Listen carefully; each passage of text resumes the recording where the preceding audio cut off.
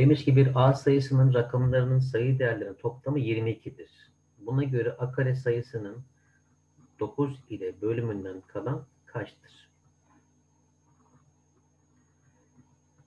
Ee, ne demiştik şimdi biz?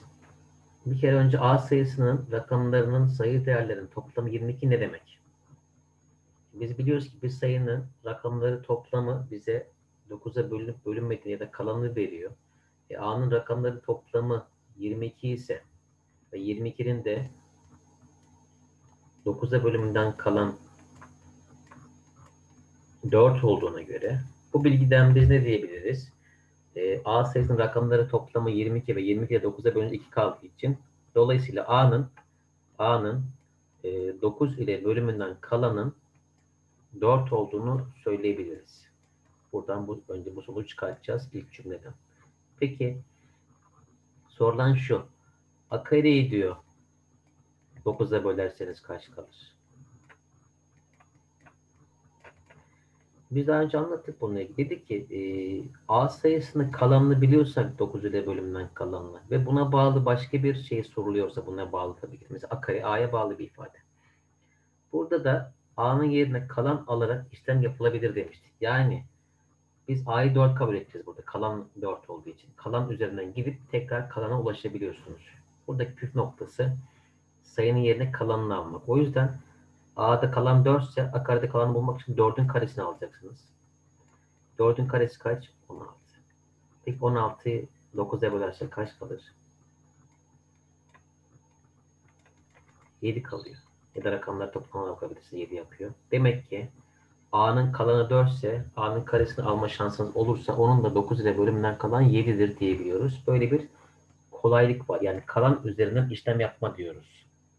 Sayılar yerine kalanlarını alarak amacımıza ulaşabiliyoruz. Dördüncü soru kolaydı. Daha önce baktım geçiyorum.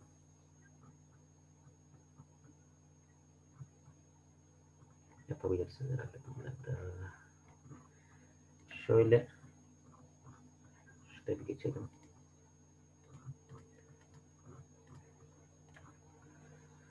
Rakamları birbirinden farklı 5 basamaklı 8, 2, A, 7, B sayısının 5 ile bölümünden kalan 3'müş. 9 ile bölümünden kalan 2'dir. A demiş 0 olmasın. 0'a eşit olmasın. Ee, A eksi B farkı nedir diye bize sorulmuş.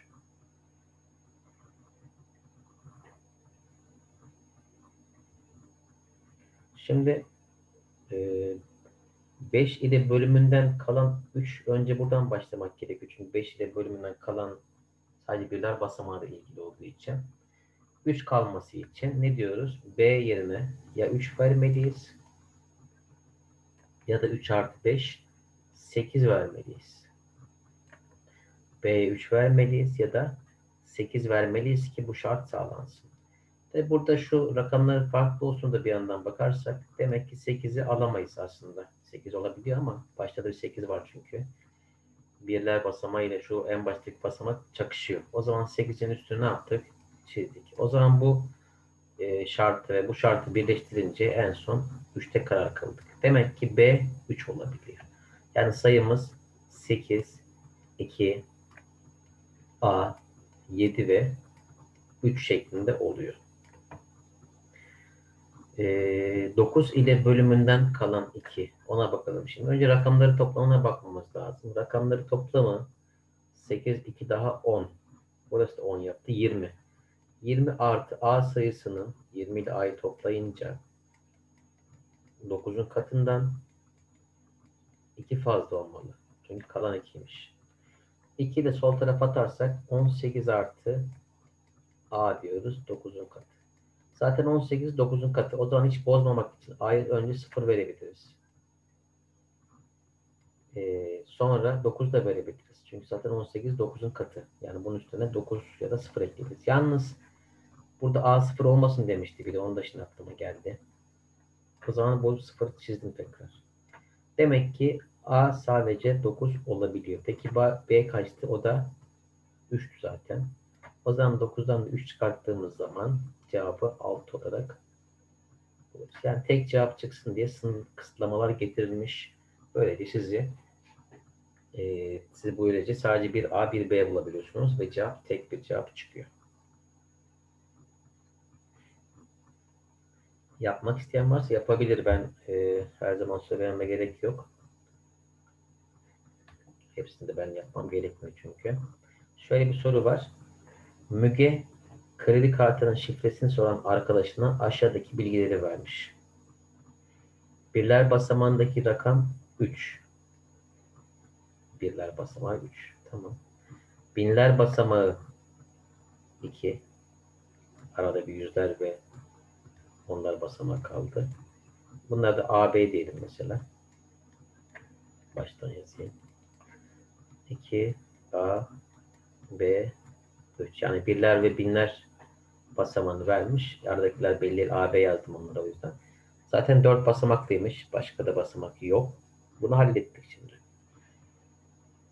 4 ile bölümünden kalan 1 olacakmış. O zaman son iki basamağa bakmamız gerekiyor şuraya. B3 sayısına bakmamız lazım. Bunun 4'ün katından bir fazla olması gerekiyor. Deneyelim mesela. 0 versek 0,3 0,3 demek 3. 3'ü 4'e bölerseniz gene 3 kalır. Çünkü e, bir rakam bölünen bölenden küçükse direkt kalan o kağıdın kendisi oluyor. Nasıl oluyor onu da söyleyeyim. 3'ü 4'e bölüyorum. Ne, diyorum? 0 kere var. 0 kere 4 0. Ne kaldı? 3. O yüzden bir sayı bölenden küçükse zaten direkt kalan da kendisi oluyor. 3 kalan oldu. Bu olmadı. 0,3 olmadı. O zaman 13 olabilir mi acaba?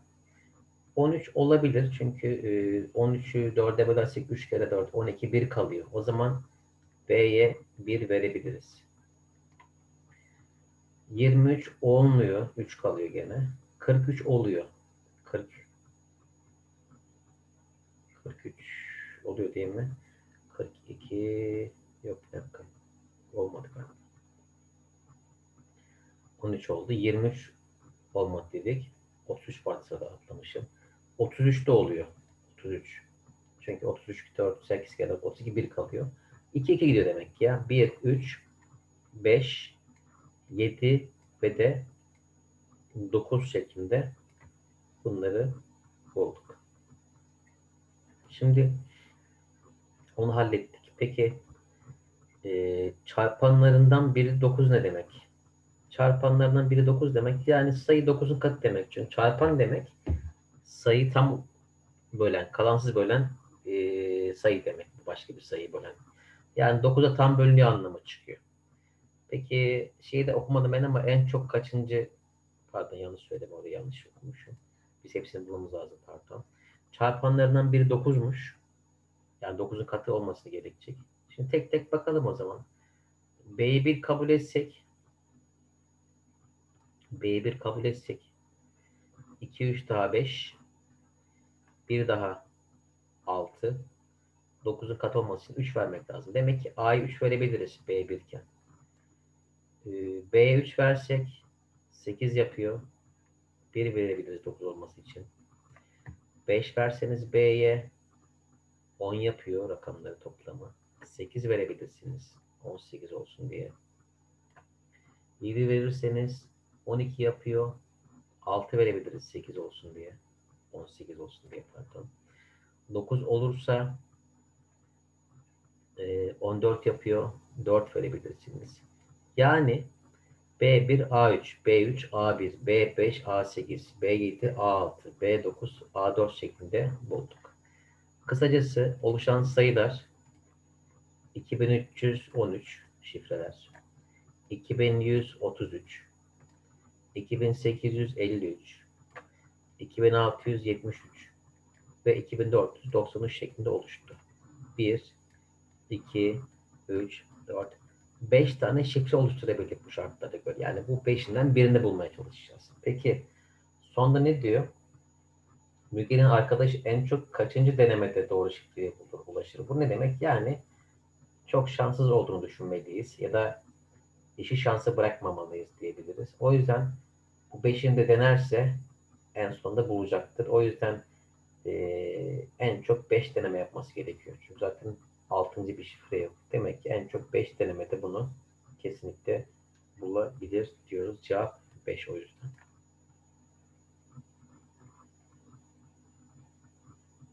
Evet Melike. Hı. Ee, öncelikle bu sayının 10 ile tam bölünebildiğini söylemiş. Hı. O zaman e, y 0 olmalı. Çünkü onun katı olan sayılar 10, 20, 30, 40 yani birler basamağı 0 olacak. Doğru. Tamam. E, sonra e, rakamlarını topladığımda 14 oluyor. O Evet, zaman evet, 14 evet. artı Özür- x yaptım. Özür dilerim. Soruyu tabii tam okumadık. Soru ne diyordu bize? 3 kere bölümünden 2 kalanını verecek. Değil mi? Onu yapıyorsun şu an sen. Yani rakamların toplamına bakacağız. 3'ün katından 2 fazla. Şimdi söyle tekrar dediğin şeyi. E, rakamlarını topladım. Hı. 14 çıktı. Bir de artı x dedim. 14 artı x. Zaten y 0 olduğu için toplamada etkisi yok. 14 artı x. O zaman bu sayı bize neyi vermeli? 3'ün katında 2 fazla. 2 fazla olmalı. Şimdi ne yapacağız? E, o zaman e, 0 diyebilirim buna. İstiyorsan Üç özür dilerim. Şöyle yapalım. Hani biraz daha basit anlamak için özür dilerim. 2'yi bu da bu tarafa atabiliriz. Hani işlem daha rahat olsun diye diyordum. Zor değil gerçi de. 14'ten 2 çıkınca 12 mi oldu? Yani 3K Evet. yalnız bıraksak belki daha rahat anlarız diye sadece bir fikir. Zaten 12 şu an 3'ün katı mı? Evet. O zaman x'e 3'ün katını bozmayacak şekilde neler verebiliriz? Söyle bakalım. E, 0 verebilirim. 0, 6 ay 3 verebilirim. evet, 6 ve 9. 6 ve bir de 9 yanına yazdım artık yer. Tabii Ama e, yukarıda rakamları farklı diyor. tam onu diyecektim. Bu yüzden sıfırla içi alamayacağım. 6 ve 9'u alabileceğim Yani en son dediğin gibi bir işaretlemeden mi? Bakalım başka şart var mı diye. Var. Ne diyor rakamları? Farklı demişti. O zaman dediğin gibi e, zaten 3 bu sayının içinde var mı? En başta var. E, var. Attık. 0 var mı? Var. Y 0 yapmıştık çünkü onu da attık. 6 var mı? Yok. 6 ve 9 yok. O zaman demek ki bu şartı da uymak için 0 3 çizdik üstünü. Demek x 6 ya da 9 olabilir. Kaç farklı değer var demiş. Cevap 2 tane İki bolu. Çok teşekkür ederim. Doğru. İnşallah bir bakalım doğru mu? 9 bu oluyormuş evet. Teşekkür ettik. Yani burada aslında sorular kolay ama tabii şeyleri gözden kaçırmamak lazım. Hani rakamları farklı diyor mu demiyor mu? O yüzden size tavsiyem en son işaretlemeden önce bir daha bir bakın. Gözden kaçan bir şey var mı? Arkadaşımız zaten gördü onu. Rakamları farklı olsun dediği için ş- bulduklarımızdan eleme yaptık ve 6 ile 9'un sadece uygun olabileceğini düşündük. Bu şekilde sonuca ulaştık. Teşekkür ettik arkadaşımıza.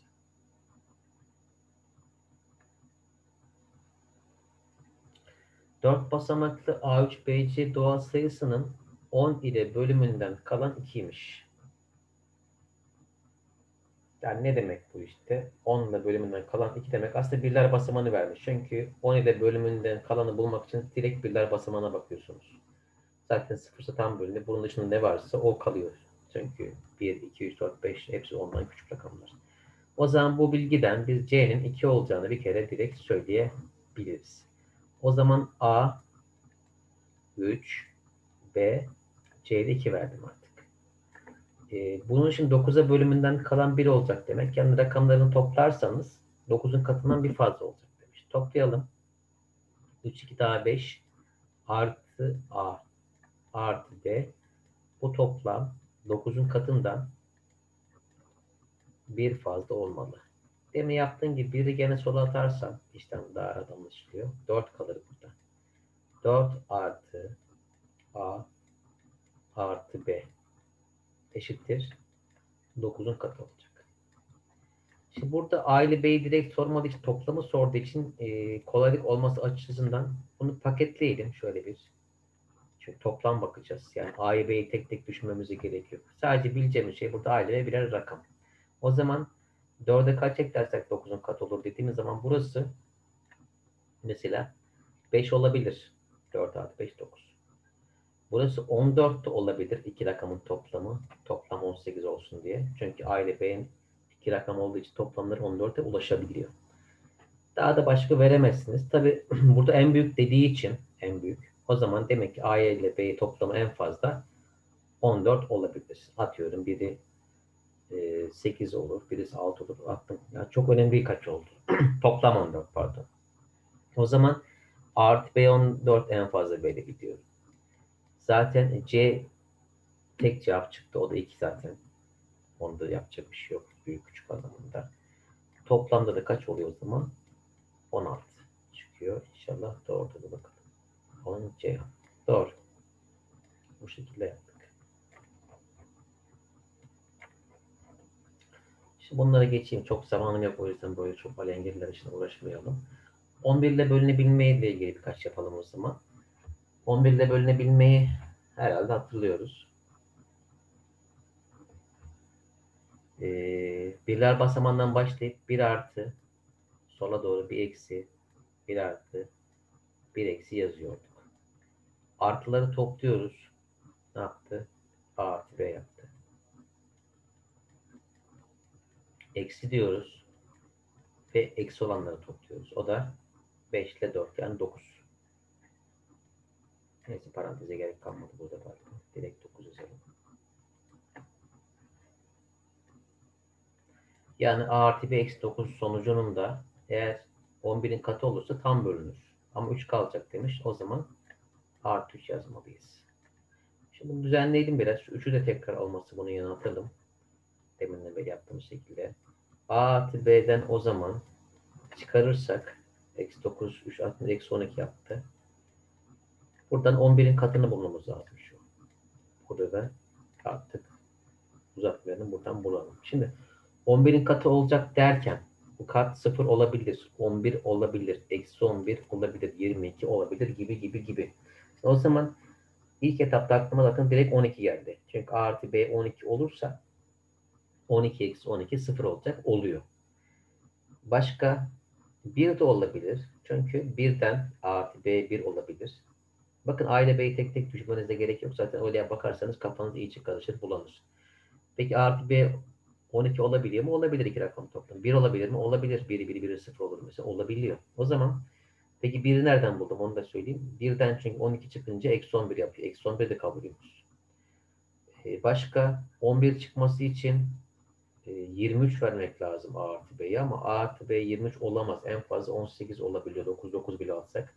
Başka da olmuyor galiba. Demek ki A artı B ya 12 olacak ya da 1 olacak. A ile B ne olacak bilmiyorum. Onunla uğraşmıyorum. Toplamına bakıyorum. Demek ki 12 ile 1 olabiliyor. Cevap 2 değer. Bakalım gene doğruymuş. Evet.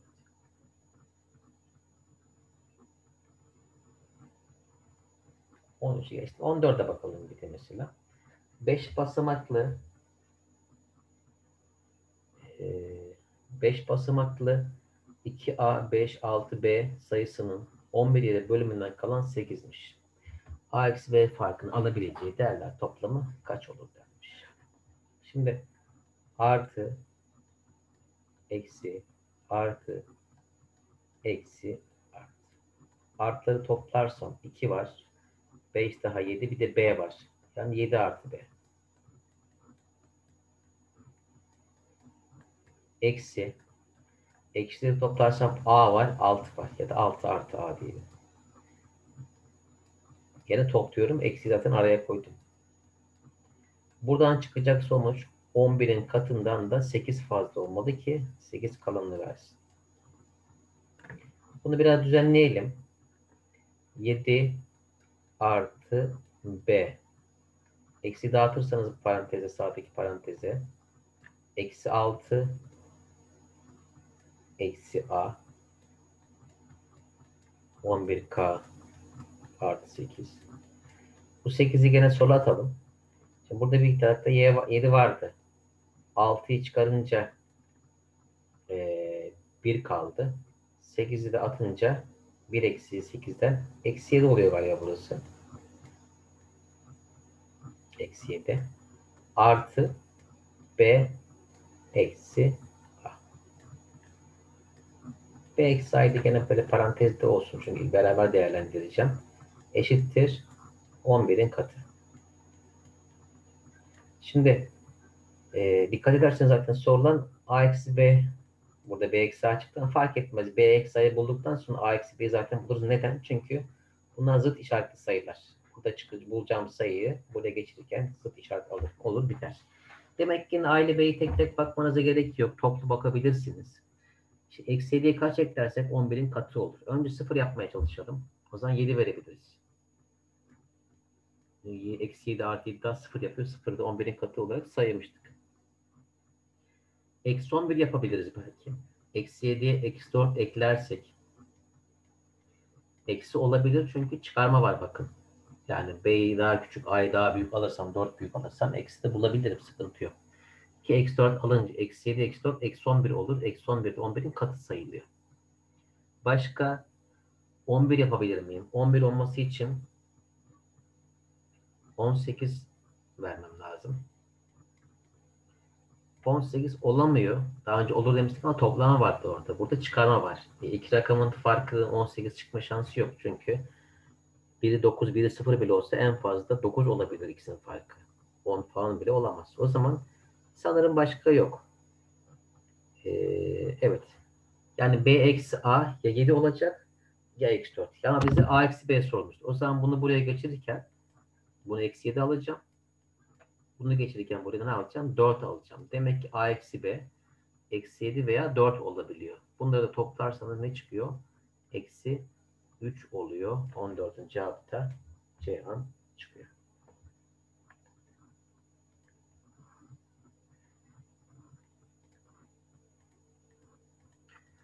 Biraz daha hızlandırmak istiyorum çünkü tek tek hepsini yapmamız bayağı bir zaman alacak. Birkaç soruyu sadece ipucu vereyim sonuca varmadan. Sonra geçeyim. Önemli olan soru görürsem yani zor düşündüğüm onları tekrar yapacağız. Şimdi 3A 4B sayısı 15 ile tam bölünüyormuş. Bununla ilgili ne diyebiliriz? 15 ile bölünebilme şartını 3 ve 5 olarak düşünmüştük. Söyledik daha önce. Neden? Dikkat edeceğimiz şey x'in çarpımının 15 olması 1.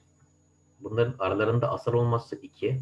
Üçüncü olarak da 3 ve 5 ile bölünebilme kurallarına sahip olmamız. Hepsi sağlandığı için bunu 3 ve 5 gibi düşüneceğiz. Yani 15'e bölünebilmesi için hem 3'e hem 5'e bölmesini sağlayacağız. Yani iki kuralı birden sağlamamız gerekiyor. Tabii öncelikle 5'e ağırlık vereceğiz. Çünkü 5 sadece birler basamağıyla ilgili.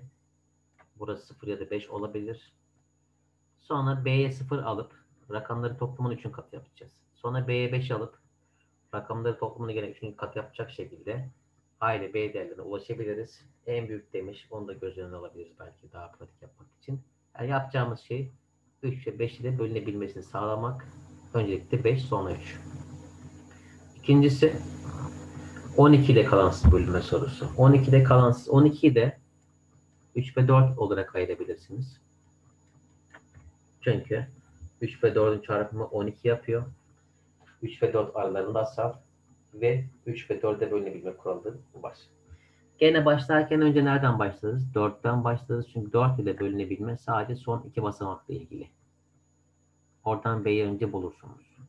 Birkaç tane B değeri çıkacaktır. Buradan da işte B'ye tek tek değer bulduğumuz yerleri verip rakamları toplamını 3'ün kat yapacağız. Bu şekilde A'ya da B'den sonra ulaşacağız. Ee, yapılabilir soru. Dikkat edeceğiniz bir şey daha var burada yalnız. A'nın da B'den küçük kalması da dikkat etmeniz gerekiyor. 30 ile bölünebiliyormuş bu soru, bu sayı. 30'u da hep akla 5 ile 6 geliyor ama bu olmaz. Neden olmaz? Çünkü e, 6'ya bölünebilme kuralı direkt yok. O zaman 6'yı bir de ayırman lazım. Oldu sana 3 parça. 5'e bölünecek, 3'e bölünecek, 2'ye bölünecek. Oradan da çıkar ama gereksiz. 30'u nasıl düşüneceğiz demiştik? 3 ve 10 en kolayı. Çünkü 3'e bölünebilme kuralı var. 10'a bölünebilme kuralı da var. Çarpımları 30 yapıyor. 3 ve 10'un başka ortak çarpanı yok. Aralarında asal. O zaman e, önce 10'a bölünebilmeden başlarım. Çünkü 10'a bölünürse sayımızın son basamağı nedir? Sıfırdır diyebiliriz. Daha sonra da rakamları toplamını e, 3'ün katı o yapacak şekilde ne yapmamız lazım? Belirlememiz gerekiyor.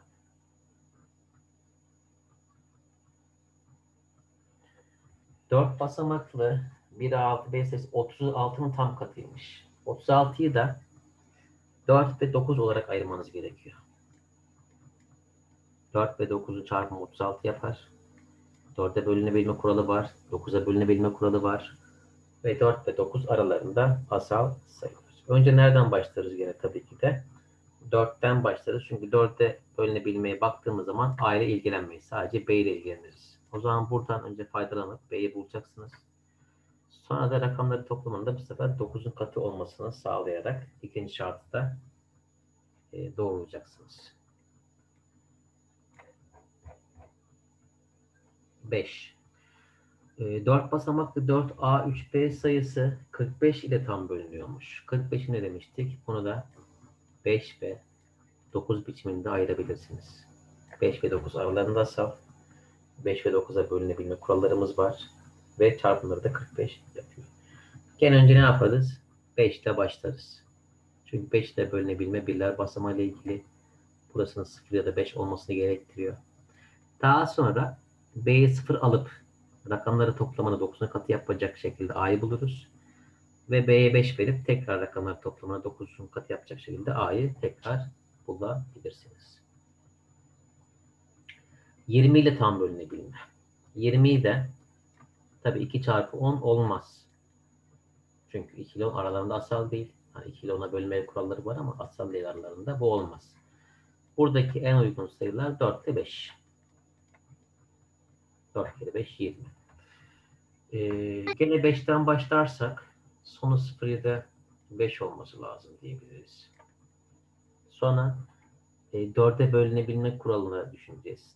Ki bu aşamada 5'i 50'ye bitiririz çünkü 4'e bölünebilmesi için bir kere çift olması gerekiyor sayının. Yani burada e, m'nin 5 olmasını eleyebiliriz. 5 tek sayı olduğu için 4'ün katı olma ihtimali kalmıyor. Yani e, m'ye 0 verip sayımızı 6, 2K 0 biçimde oluşturacağız. Burada 4'e bölünmesi için şurayı 4'ün katı yapacağız. Ne olabilir K mesela? 0 olabilir. Çünkü 0, 0, 4'ün katı demiştik. Ee, 1 olmaz, 2 olur. 20, 40 olur. Yani 0, 2, 4, 6, 8 şeklinde K'yı bulabiliyoruz. Başka da herhangi bir şart göremedim burada. Bunları toplarsanız da 20 yapıyor galiba. 24 ile bölünebilme. Bunda 3 ve 8 olarak almanız lazım. İsterseniz bu soruyu yapalım. Çünkü 8'e bölünebilmek biraz zorlanıyorsunuz. Tamam 3 ve 8 gibi ayırdık diyelim. 8'e bölünebilme son 3 basamakla ilgiliydi. Şununla ilgili. Ee, 970'li bir sayı işte artık 70 mi 71 mi bilmiyorum. Ama 8'e bölünmesi için şöyle bir deneyebiliriz. Yani 970 olduğunu varsayarsak mesela. Deneyelim acaba bölünüp bölünmediğini. 8'e bölerseniz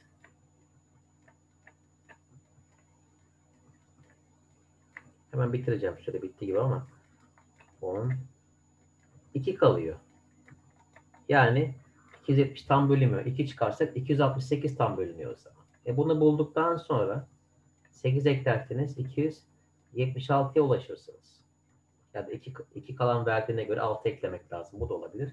276 olduğunu deneyerek bulduk. Yani M kesin 6 olacak.